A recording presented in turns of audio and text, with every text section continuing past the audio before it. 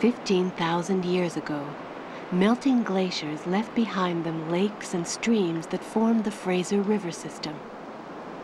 It became the home of the sockeye salmon and the home of the native people who came to live along this watershed. It is now the moon of the sockeye salmon.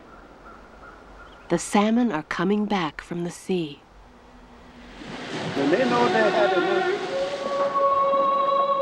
enough, let's hold that off. There's enough here to feed them.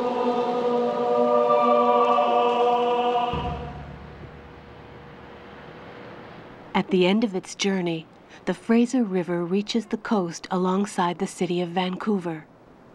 Off the coast lies Vancouver Island.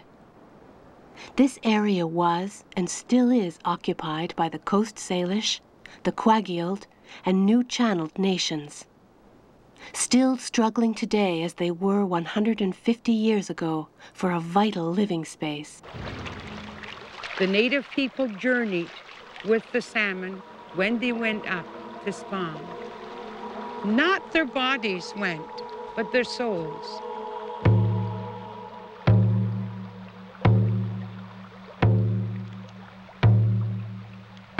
The new year for our native people, when it changes, it's called Te'as.